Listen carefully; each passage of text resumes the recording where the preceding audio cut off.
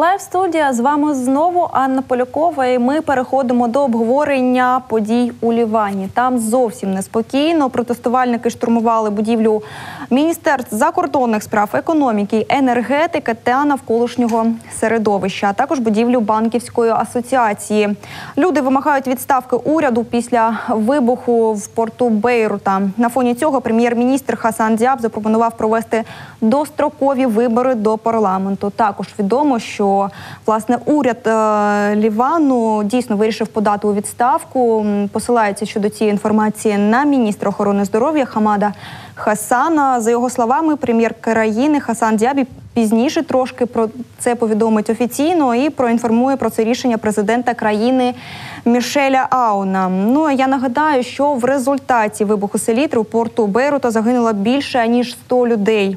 4 тисячі постраждали. За повідомленням українського посла у Лівані загинув і 32-річний українець. Більше про ситуацію у Лівані ми поспілкуємося з Таріком Макаром, мешканцем Бейруту. Тарік, вітаю вас.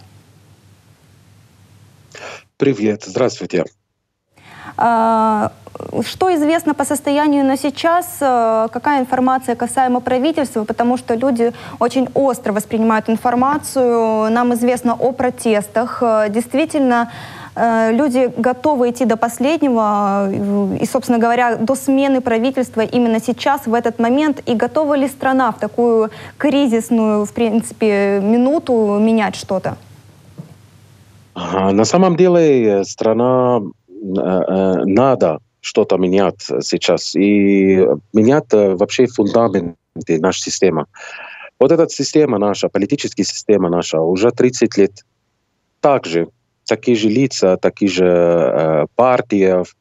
И на самом деле народ уже не может. Экономические ситуации, ситуации с вирус и ситуации после э, взрыв в порт.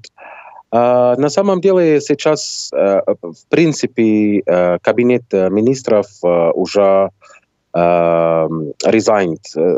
Они уже не... They gave their resignation. Извините, я не знаю, как, как на русском. Но на самом деле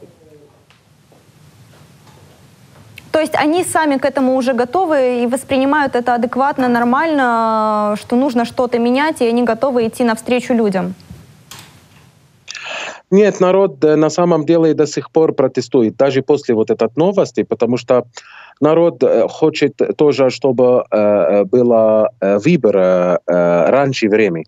На самом деле наш выбор через год и 9 месяцев, а народ хочет, чтобы выбор был раньше, потому что менять ситуацию в Ливан сейчас не только нужно, чтобы кабинет министров и премьер-министр уходили и пришло новый кабинет министров.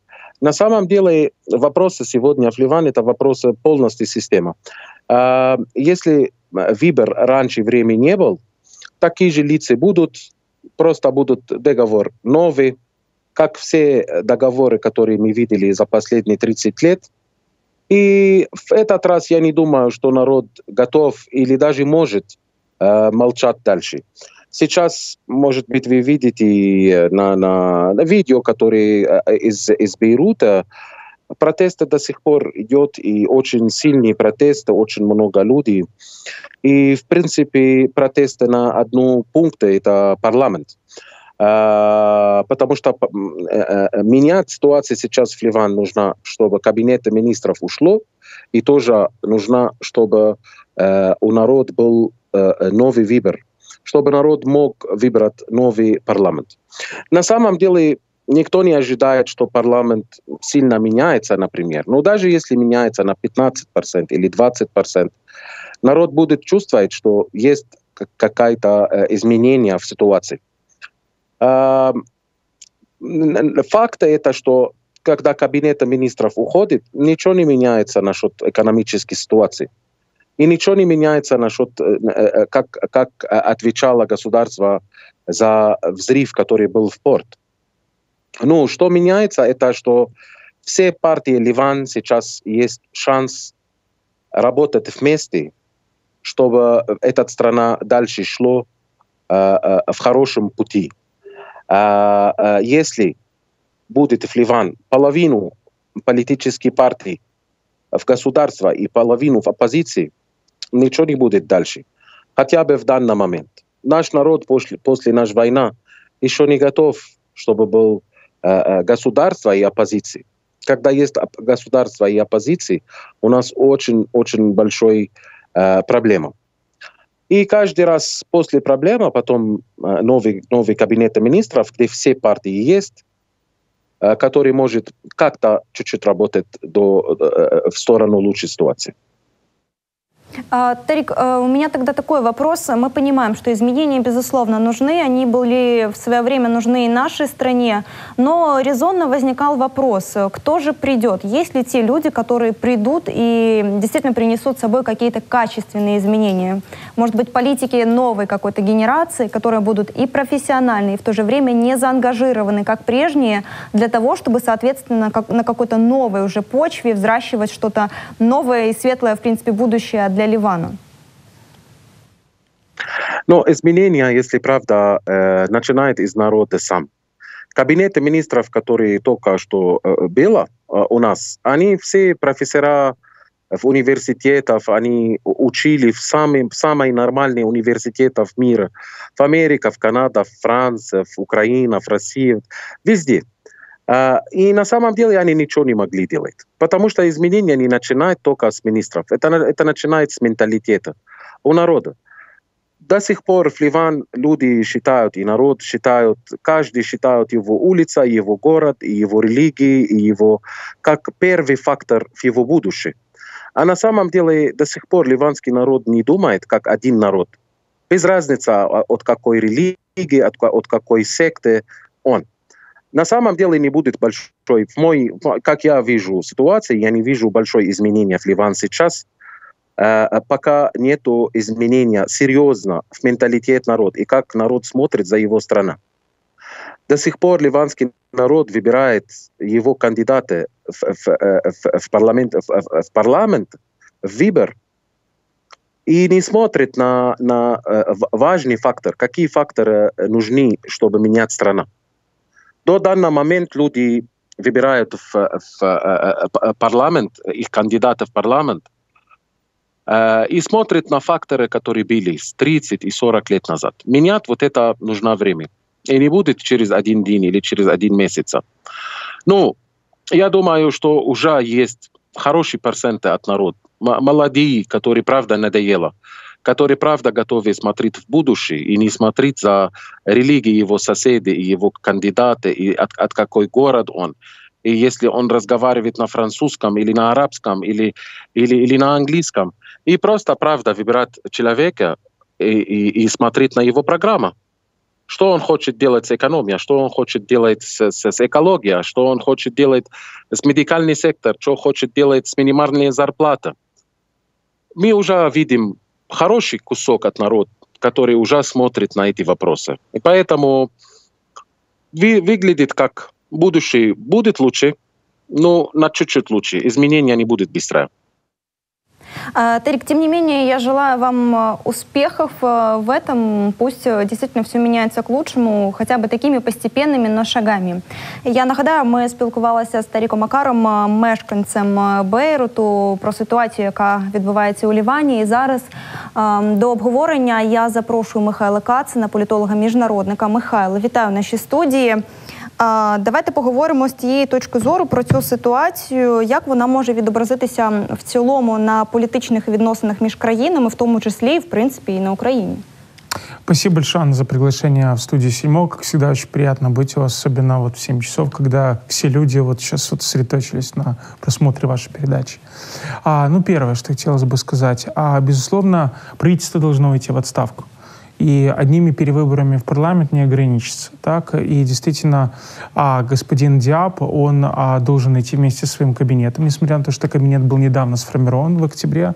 А... То не чекати ще рік, Нет, кабинет министров в любом случае является ответственным. Кроме того, давайте говорить так. Вот если это государственно мыслящие люди, как они должны рассуждать? Вот есть недовольное общество, общество, оставшееся без крова, с, без еды, с дикой инфляцией, с неработающим портом, через который завозился 80% импорта а для целого Ливана. И общество недовольно, общество протестует. Нужно как-то выпустить этот пар. Вот если это действительно не просто политики, а государственные деятели, значит, они должны взять, уйти в отставку, а, возможно, кто-то предстать перед судом и через какой-то какой срок снова вернуться в політику. Але ж ви чули нашу бесіду з Таріком, він зауважив, що навіть якщо 15% е, зміниться там людей при владі, то це вже буде певним кроком та добре. Ви припускаєте такою дум таку думку, що дійсно лише 15 може відсотків е, Ем, змінитися, а всі інші вони залишаться при своїх посадах. І, власне, ничего таким чином, коренным чином, вибачте, за такой каламбур знаете, не любо, изменится. Знаете, любая политическая система, она должна меняться эволюционным путем. А если мы вообще посмотрим на э, даже украинскую политику, она же эволюционным путем изменяется? И э, ливанская политика, это и ливанская политика, Ливан, и ливанская государственная система, она не исключением.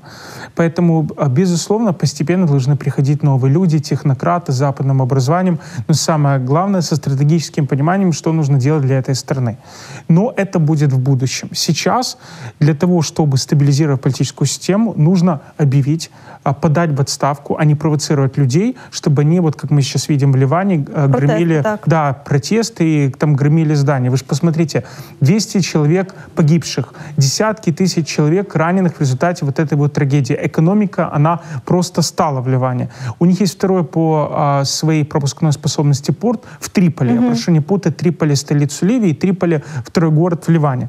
Так вот этот порт, он не готов принимать тот объем грузов, необходимых для элементарного обеспечения э, граждан э, Ливана. То есть э, стране грозит голод, вот просто голод. И в этой связи правительство должно уйти в отставку и должно быть сформировано правительство народного доверия. Тогда, когда пар выпускается, тогда люди уже успокоившись, они могут вслушиваться в то, что говорят политики, лидеры государства, возможно, какие-то изменения.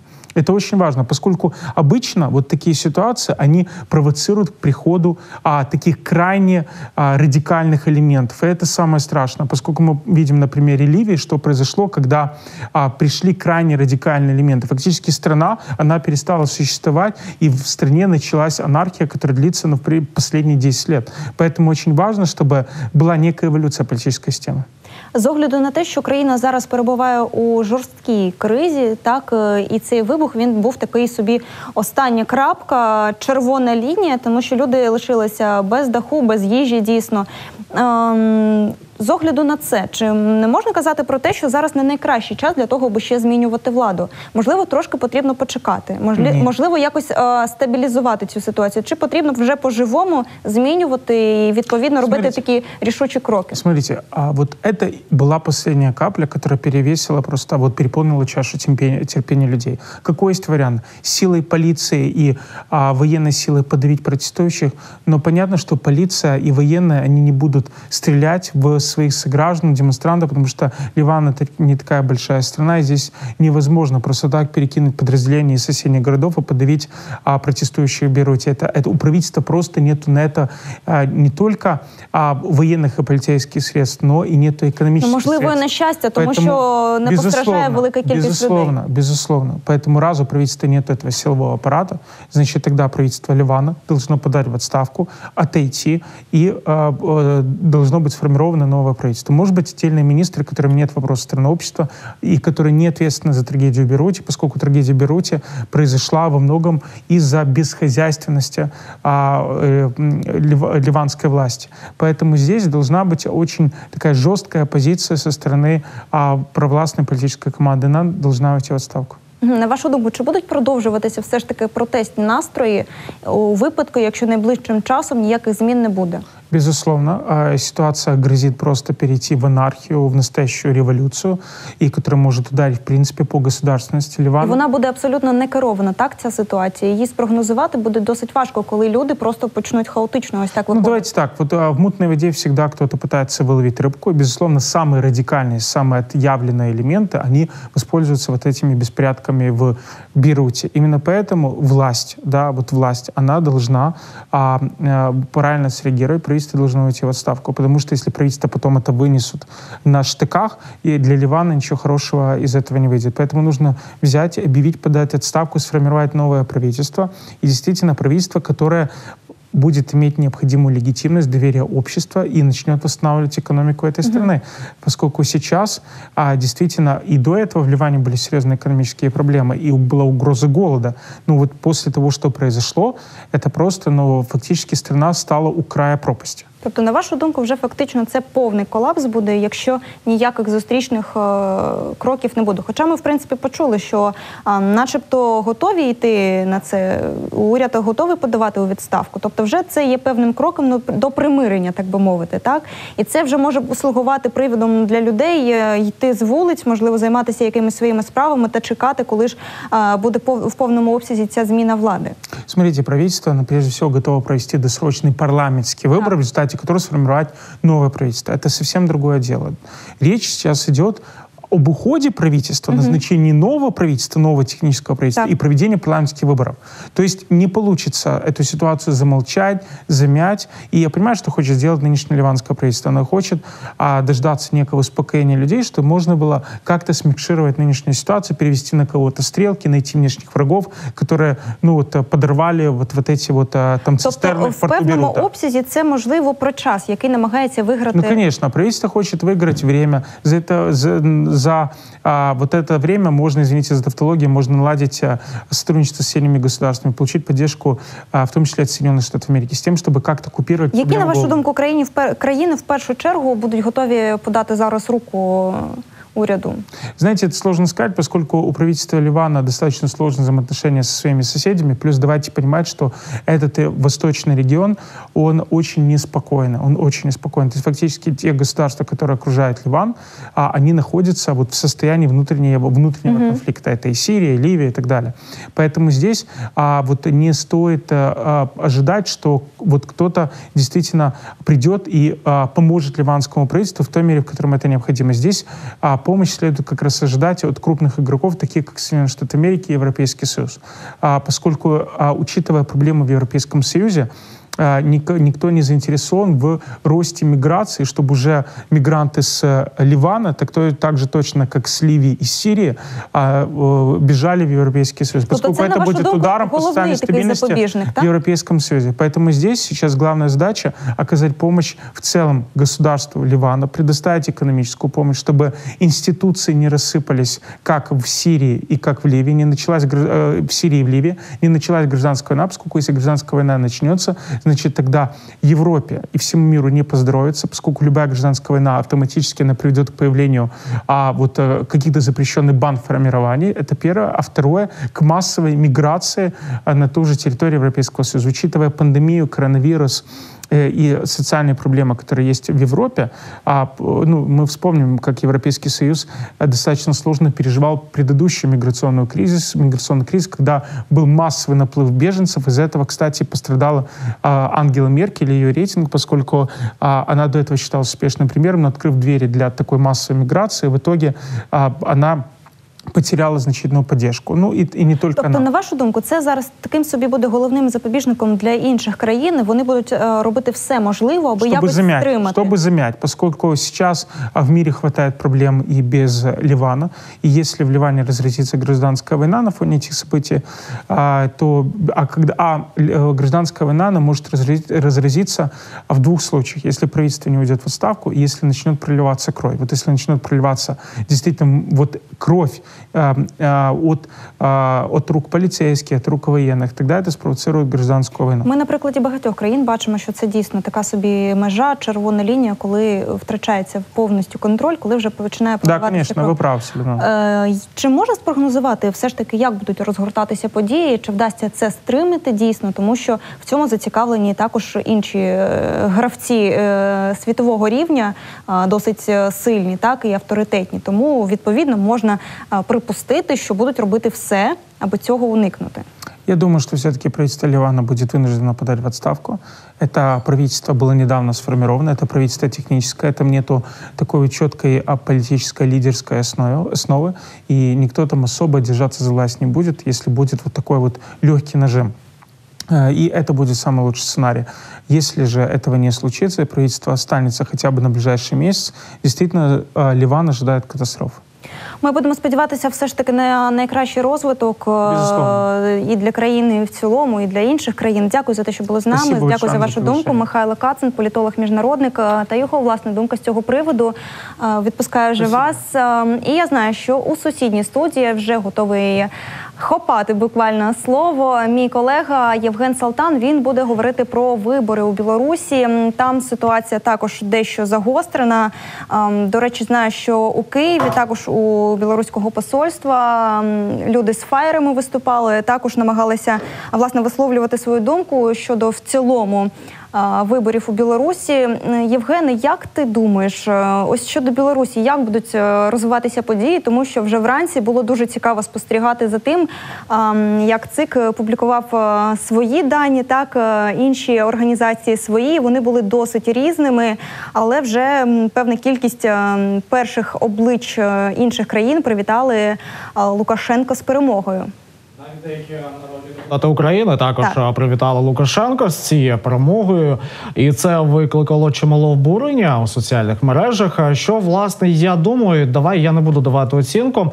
А, найближчі 30 хвилин ми будемо долучати до діалогу політологів і вже з ними розбиратися у тому, що насправді відбувається у Білорусі і чим все це може закінчитися. Безумовно, тобі слово.